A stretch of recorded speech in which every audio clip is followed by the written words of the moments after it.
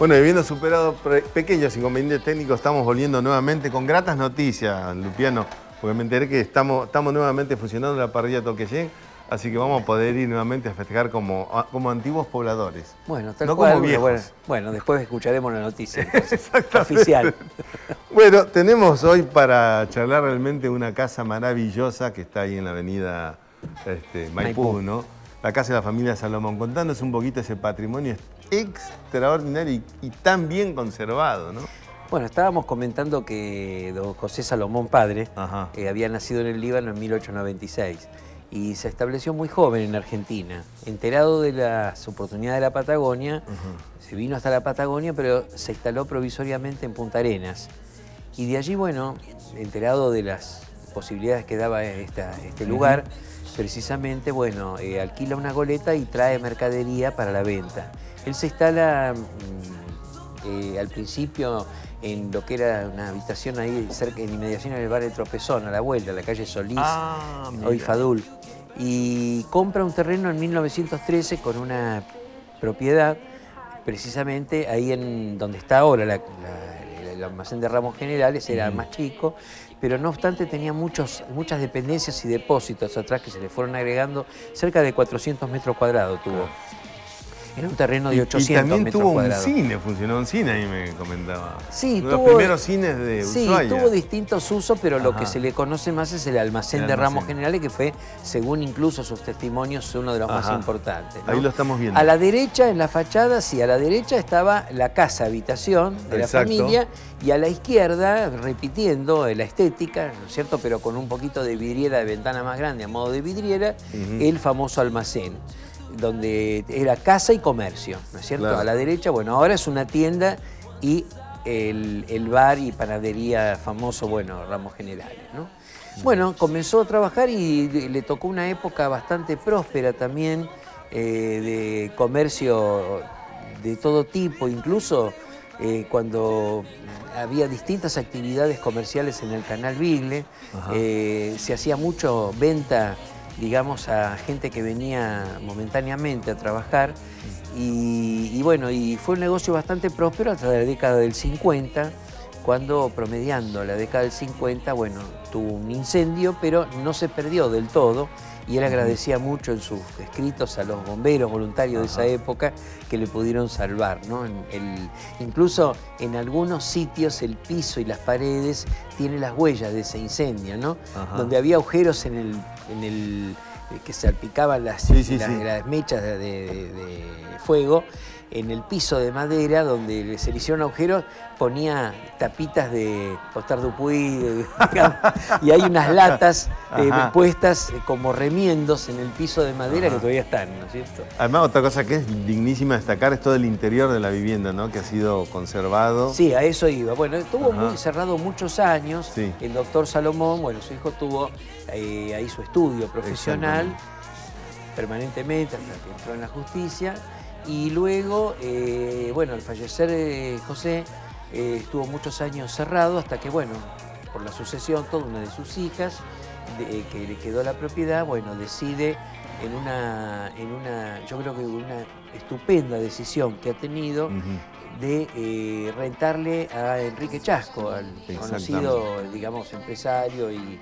contador y despachante, ¿no es cierto? Enrique, para todos los amigos y, él con un arduo trabajo y muy dedicado que le llevó años, eh, estuvo restaurando de la mejor manera y adaptando dependencias y quitando y mejorando e incorporando objetos y prácticamente en una, en, una magnífica restauración de este edificio y una puesta en valor, como le decimos, estamos en conservación, se inauguró eh, tuvo varias inauguraciones esa semana, los primeros días de octubre. El 6 de octubre de 2006 yo tuve oportunidad de ir con los antiguos pobladores. Uh. Luego después hubo una inauguración para digamos, el público en general y hubo, previa, y hubo también una inauguración tipo periodística.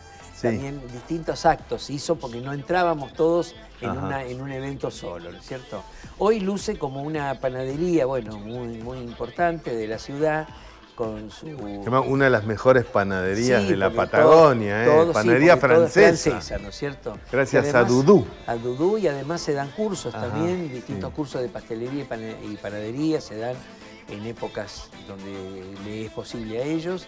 Y es un bar, también ha habido música en vivo y lo que está cuidado cada detalle, porque además las mesas, están las huellas de, cada objeto. Hasta los, juguetes que... Esa es la foto de cuando se inauguró, que Enrique está hablando unas palabras, incluso unas palabras muy graciosas que en su momento que le quitó un poco porque había todas, todos antiguos pobladores con lágrimas en los ojos llorando de la emoción. A ese Todos han pasado por ahí. Y Enrique dice, sí, en el entretecho, cuando buscamos las cosas antiguas, dice, aparecieron los libros, los libros de fiado, los libros, ah, los cuadernos.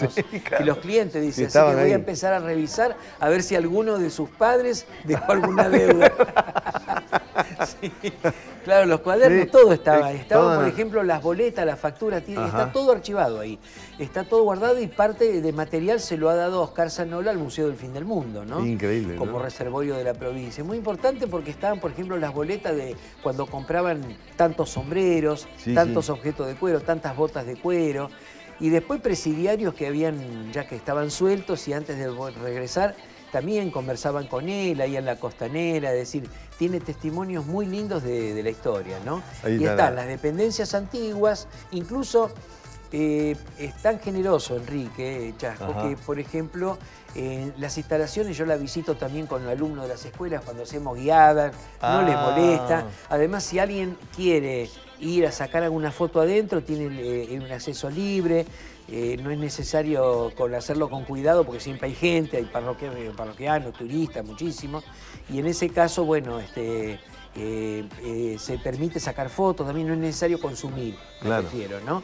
Así que es muy lindo porque se puede recorrer toda la instalación y, realmente es un, muy buen trabajo y una recuperación muy grande. También hay algunas fotos de las que hacemos trabajo ah, con los justamente con los chicos, donde representan la Casa Salomón y bueno, y después con algunos que, cuando, algunos que podemos hacer salidas guiadas, eh, también los llevamos ahí, porque en el centro de la ciudad, que es el casco histórico, ya lo hemos dicho, como en toda ciudad, del mundo, el centro es el lugar donde están las construcciones antiguas, porque las, ciudades han crecido en Europa extramuros, de fuera de los muros, de la Edad Media, y acá, bueno, se han formado los barrios, por lo tanto el centro es donde está todo más antiguo.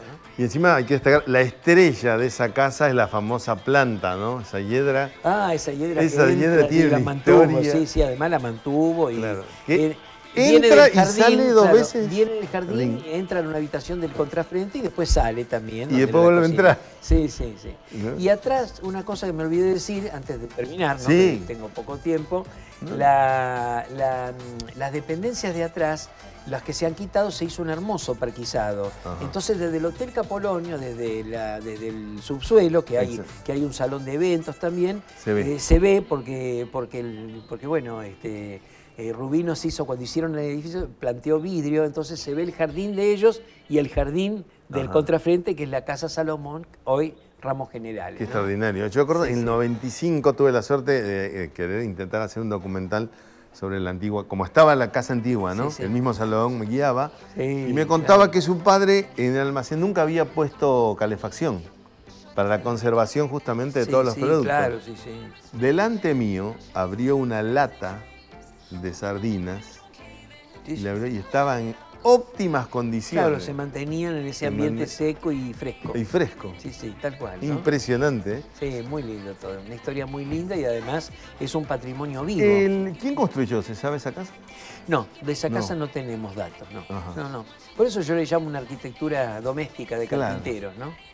Arquitectura de carpintero le llamo. Porque lo que no lo hizo Lizardo García hasta 1937, que después en otro momento lo vamos a mostrar, que fue la primera casa que se hizo con plano, que fue la de don, de don Vicente Canga, ahí en Roca y Gobernador Paz. Lupiano, te agradezco muchísimo realmente que vayamos recordando nuestra historia a través de nuestro patrimonio, porque así la gente va a saber realmente los lugares lindos que aún tenemos para, para conservar también lo que se tiene. Muchas gracias. Nosotros de esta manera, bueno, despedimos al arquitecto Lupiano, quien es realmente un restaurador, un cuidador y además un enamorado de las casas del fin del mundo, afortunadamente. Y seguimos compartiendo este espacio también con otro enamorado de Tierra del Fuego, pionero de emprendimientos turísticos que esperamos siga sorprendiéndonos. Él es Moreno Preto. Ale, todo tuyo, Living. Así es, Manuel Moreno Preto, titular de Catamaranes Canoero, que va a estar hablando sobre estas propuestas turísticas y este descuento para residentes. Bueno, hablamos, eh, Moreno, en este caso, de este importante emprendimiento, pero antes quiero que cuentes brevemente cómo, cómo llegás a la provincia de Tierra del Fuego y cuáles son tus principales emprendimientos, apostando al turismo de la provincia. Cómo llego a la provincia de Tierra del Fuego es eh, a través de mi mamá. Digamos, mi mamá vino, mis padres vinieron en el año 48 aquí y yo nací en el 50, aquí en Ushuaia. Yo soy fueguino. Eh, se nota la cara de indio que tengo. bueno, ellos, este, ellos, mi padre vino de Italia, trabajaba con la empresa Borsari. Eh, a través del tiempo, digamos, fueron haciendo diferentes emprendimientos, empezaron con carnicería, carpintería, pusieron un pequeño aserradero ahí en la zona donde está hoy el, uno, un supermercado, este, sobre la calle 12 de octubre. Eh, luego eh, invirtieron en aserraderos mm, afuera de la ciudad, en la zona de Rancho Hambre, en lo que es la Ruta J hoy, y, últimamente nos eh, radicamos en Laguna Verde, donde está hoy Villa Marina, que es un emprendimiento turístico también. Ahí, este, es hermoso ese lugar. Claro, ahí había un aserradero en el cual yo estaba a cargo. En aquel momento aparecían los ómnibus de turismo de diferentes empresas que recién comenzaban con esta incipiente, incipiente industria. Este, bueno, yo hice contacto ahí con uno, de los, con uno de los operadores turísticos de Buenos Aires, donde él me decía, bueno, que había que invertir en turismo. Yo obviamente tenía ganas de hacerlo. El desafío. exactamente. Y entonces eh, comenzamos eh, con el con el Quincho Tolqueyen, donde empezamos a hacer un asado de cordero típico al asador. Eh, con eso tuvimos mucho éxito, después seguimos con, el hotel Tolqueyen, que todavía está, están acá, eh, quiero aclarar que el Quincho Tolqueyen todavía está funcionando. Está funcionando. Está funcionando, sí. para nuestro compañero de tareas que estaba Para el compañero Manuel, que tanto... Tanto insistía, ¿no? tanto insistía con el Quincho. Están, ahora está a cargo mi hermana con Osvaldo Guardamaña, que son este, los dueños del lugar y nosotros este, ya en el 89 eh, yo decidí hacer un catamarán que lo hicimos en, un astillero en Chile. Eh, fue el catamarán Luciano Beta en honor a mis padres, al nombre de mis padres. Y luego seguimos progresando con, con el tema de los catamaranes. Fuimos haciendo catamaranes nuevos, Mariana, Moreno Junior, Después hicimos Francesco, los nombres Máximo, Elisabetta, todas las... Sí, los nombres de los catamaranes corresponden a algún familiar. Claro, los nombres de los catamaranes corresponden en principio a mi padre y a mi madre, Luciano Betti, y después a mis hijos. Eh, a excepción de Marina, que, es Villa Marina, es un emprendimiento turístico diferente. Bien. El resto son todos este, de los chicos. Y así surgió, digamos, esta... Así surgió... El canoero. claro, Catamaranes Canoero. En realidad la empresa es los llaman a Sociedad Anónima que es la dueña de los, de los hoteles y de, los catamaranes y de algunas cositas más por ahí. Este, pero bueno, nosotros ahora tenemos, eh, los catamaranes son todos nuevos, hemos vendido los catamaranes. Este, Vino un catamarán nuevo también, claro, ahí la incorporación Los catamaranes que tenemos ahora son todos nuevos. Bien. Francesco, que tiene dos años, Máximo que tiene un año y Elisabetta que está por parir ahora. Elisabetta. que está por llegar, sí, está por llegar ahora en octubre más o menos va a estar nuevamente aquí. Sí.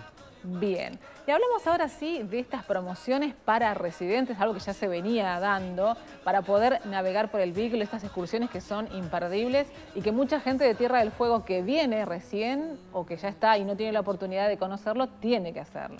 Sí, la excursión al Canal Beagle es una excursión típica y además eh, con el sentimiento que tenemos nosotros hacia el Canal Beagle deberíamos conocerlo. Con, inspirado en ese, en ese tema, sabemos que hay mucha gente que, no podría hacerlo con los precios normales del turismo internacional, por así decirlo. Nosotros se nos ocurrió la idea de, invitar a la gente cobrando un, precio promocional muy interesante, que en este caso son 150 pesos. ¿150 pesos? 150 pesos. Bueno, 150 pesos. Es, eh, un precio Es un precio, sí, considerando que la excursión al público sale hoy 900 pesos es un precio interesante. Y además, Sí, también teniendo en cuenta el grupo familiar, porque muchas veces no nos olvidemos de que hay parejas que también, eh, o matrimonios con cantidad de muchos, muchos hijos, familias numerosas. Claro, hay, hay familias numerosas, está el abuelo, la abuela, los parientes que vienen del norte. Nosotros sabemos que en Ushuaia y en Río Grande hay mucha gente que, está radicada aquí, jóvenes, pero que además vienen los padres de las provincias a visitarlos y que obviamente por ahí no vienen con el espíritu de hacer turismo, sino solamente de visitar a los, a los hijos, a los nietos y demás, y que por supuesto nosotros, considerando esa situación, a veces hacemos excepciones y los ponemos también como residente a los... Muy bien, bueno, eso, la, verdad que, es genial porque eh, es como que la familia unida tiene que conocer estos paisajes maravillosos y navegar increíblemente por el canal de Beagle, es una oportunidad. ¿Cómo hace la gente para inscribirse, para llegar, para acceder a este servicio? Mira, nosotros siempre pedimos a través de, las informaciones que tenemos en el Facebook, en Instagram y demás, este, pedimos que se haga la, reserva en los números, en los 433-893 o 1551-3291. Ese es el celular mío que uso yo, contesto como canuero, así que te hago todas las promociones ahí por teléfono en el instante, no hay problema. lo que sí pedimos que hagan reserva, porque sobre todo ahora que está avanzando la temporada, hay mucha, ya está viniendo un poquito más de gente y entonces, eh, sobre todo los fines de semana que viene la gente de Río Grande, se, se completa bastante, gracias a Dios. ¿Cantidad de gente? Mucha, ¿no? Mira, nosotros tenemos dos... Se anunció este descuento. Claro, por ahora tenemos dos catamaranes, uno de 170 pasajeros y otro de 120. En los fines de semana siempre salen los dos. A pesar de que salen los dos, a veces este, no alcanza y entonces hay gente que por ahí se enoja un poco, qué sé yo, pero bueno, tiene que entender que nosotros tenemos una capacidad máxima que no podemos superar por una cuestión de seguridad. ¿no? Eh, ¿Cuánto es la capacidad para...? 171 y 120 el otro. Ah, bien, hay que tener en cuenta esto. Y para que la gente se vaya organizando los horarios. Los horarios a la mañana, hasta el fin de septiembre salimos a las 10 de la mañana y a la tarde a las 15.30. Y a partir de octubre, que ya tenemos un poquito más de luz, está un poco más la temperatura amigable, salimos a las 9 y media y a las, y a las 16 horas. Bien, ¿dónde se acerca la gente? ¿Dónde tiene que ir? Una vez que ya tiene la reserva hecha. Mira, la gente. Bueno, si no la puede, si no puede, se puede acercar igual de todos modos al lugar Por supuesto, sí, sí, la gente, la gente puede hacerlo por teléfono, no hace falta, no hace falta ir a la boletería de Canoero, simplemente hacer la reserva por teléfono y después este, media hora antes acercarse, como mínimo, acercarse a la boletería de Canoero porque digamos, nosotros tenemos un límite de espera, hasta, las, hasta media hora antes esperamos y si la gente no viene, por ahí necesitamos el lugar, ocupamos con otros. Ah, Porque ha sucedido a veces que la gente hace reserva y después no va. Entonces este, eso complica un poco la operación. ¿Cuál fue la respuesta de la gente? Viene gente de toda la provincia, Río Grande, Tolwyn, propiamente de Ushuaia. Sí, la, gente fue la, respuesta de la gente fue muy buena. Eh, la gente obviamente que, que con esta promoción, que es bastante interesante, y que es ávida de conocer el canal y demás, este, se ha acercado en gran cantidad, sobre todo la gente de, de Ushuaia, de todo el Grande, que son los, los que están promocionados. Eh, y a veces, bueno, vuelvo a insistir que, llevamos algún, algún pasajero que no es de Tierra del Fuego, pero que es pariente directo de los, de la gente que está radicada aquí, ¿no? Y usted que hace tantos años que está con, invirtiendo en el turismo y apostando a la provincia propiamente como fueguino, ¿qué opinión le merece quizás los entes turísticos, esto que se está organizando en torno al, turismo? Mira, los entes turísticos este, siempre fueron buenos porque todo lo que sea promoción este, es bueno para la provincia. Lo que yo haría como empresario eh, unificaría un poco la cosa, porque si no, claro, unificaría un poco la cosa, porque si no, además de tener un, un gasto mayor en, personal y demás. Este, a veces, eh, tal vez no es el caso de ahora, pero hubo momentos eh, políticos y demás que, no estaban demasiado de acuerdo. Los entes de gobierno con los entes municipales, hacían promociones diferentes, con, a veces este, con cosas eh, que no coincidían una con otras, y entonces eso no solamente no promociona, sino que va en contra de de la provincia, ¿no? Claro, esto también es importante destacarlo. ¿Y considera que esta propuesta ha servido a los operadores turísticos? La propuesta siempre sirve. Todas las propuestas que se hacen con buenas intenciones sirven para, para todo, en todos los casos, no solamente a los, a los, entes turísticos, sino también a la gente en general. Hoy con la informática que tenemos, este, que uno puede entrar por diferentes vías a, informarse, este, aunque muchas veces eh, quedan cosas antiguas en, los, en las redes donde eh, mal informan a la gente, pero de todas maneras siempre es información válida para que la gente pueda venir a Ushuaia. Este, eh, siempre es muy bueno la, promoción. Bueno, la última pregunta, hacemos hincapié entonces en este importante descuento. ¿Hasta cuándo tenemos descuento los residentes de Tierra Mira, nosotros los descuentos los hacemos siempre, todo el año. Todo el año. Y además quiero, quiero comentarte que a partir del 7 de octubre, a la tarde, empezamos a hacer la pingüinera y durante todo el mes de octubre... Bien vamos a tener una promoción de 300 pesos para los residentes de Tierra del Fuego. 300 pesos Hasta fin de octubre. las excursiones hacia la pingüinera. Hasta la pingüinera, sí, que son cuatro horas y media. Buenísimo. Lo que pasa es que normalmente la gente de Tierra del Fuego, sobre todo los antiguos pobladores, le tienen miedo al canal, aunque te parezca mentira. Ah, Hay gente que dice que no, que el navegar, que no. Bueno, lo que quiero este, decirles es que no, que siempre los catamaranes siempre fueron muy seguros. Los catamaranes de última generación que tenemos nosotros ahora son catamaranes rápidos que la excursión antes se hacían 6-7 horas, ahora se hacen 4 horas, 4 horas y media. Claro, con todas las medidas de seguridad. Claro, son, siempre fueron seguros los catamaranes. Ahora, ahora no es que sean más seguros, sino que siguen siendo más seguros todavía, pero eh, con la ventaja de que ya no tenemos que estar tanto tiempo en el agua si le tenemos miedo, sino que hay un poquitito más. De todas maneras, quiero aclarar que la gente va arriba al catamarán, no en el agua. No, obviamente. no, porque la gente siempre dice, no, porque está frío, porque esto. Bueno, los catamaranes tienen calefacción, televisión, baños. También eh, equipados. están bien equipados, tienen balsas salvavidas. O sea, no tengan miedo, gente. No hay ningún problema. Vayan a navegar tranquilos. No hay ningún problema. Eh, recordamos el costo de esta excursión. El costo es 150 pesos la excursión corta y 300 pesos la pingüinera hasta fin de octubre. Bien, entonces vamos a reservar ya para conocer. A reservar todos para la pingüinera. Bueno, muchísimas gracias Moreno y muchos éxitos con estas tarifas diferenciales y que la gente siga apostando a conocer nuestra querida isla. bueno, cómo no, muchas gracias y el agradecido soy yo. Momento de seguir con Esta Mañana Estás Informado. Y Manu tiene lo que se viene en el próximo bloque, los adelantos. Manu, ¿te escucho? Efectivamente, Ali, recordarle a la gente justamente que tiene miedo en esta ciudad en que se vive de espaldas al mar lo que está haciendo los catamaranes extraordinarios porque justamente nos acerca al mar y a toda esa gente que tiene miedo, dice, ay, me voy a marear. Para eso es el catamarán justamente, para que uno navegue tranquilo y no se maree y disfrute de este mar austral que es maravilloso y felicitar a Moreno realmente que nos ha permitido acercarnos al mar. A muchos, los que vivimos acá y teniéndolo cerca no hacíamos nada con él.